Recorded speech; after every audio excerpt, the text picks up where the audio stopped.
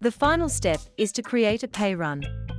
This is a paid feature, so you'll need to start a free trial or pay for a subscription to access this feature. To start your free trial, click the banner that says Start Free Trial. To run pay runs on our web app, you need to subscribe to either the standard or enterprise plan. Choose between a monthly or yearly plan to start your free trial. Click Start Free Trial. Enter your payment details to start your free trial. Your card won't be charged until the 14-day free trial is complete. You can cancel your subscription at any point during your free trial. Click Confirm.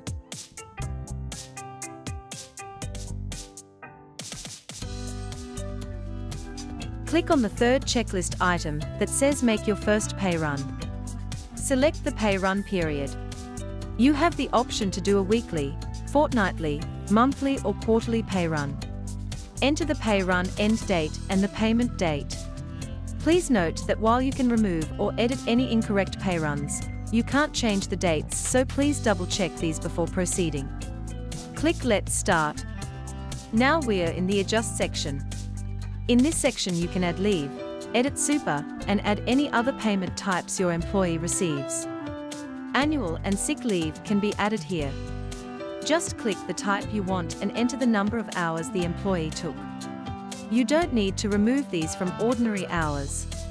Extra hours or hours at a different rate can be added here. Add the number of hours and the rate. You can set these as overtime hours and name them if you want. Other payment types like deductions, allowances and bonuses can be found under More. To edit Super, click on the blue Super amount. You can add a super salary sacrifice, or an employer contribution, or edit the super guarantee here.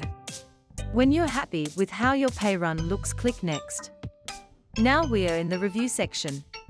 This section shows you a summary of your pay run. Here you can also edit tax and the leave accrued this pay run. If you want to return to your pay run later, you can save it as a draft.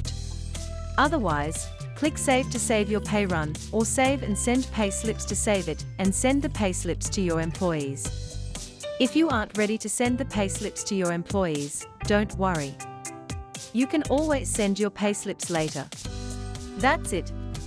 Your first pay run is complete and you've finished your payroller onboarding.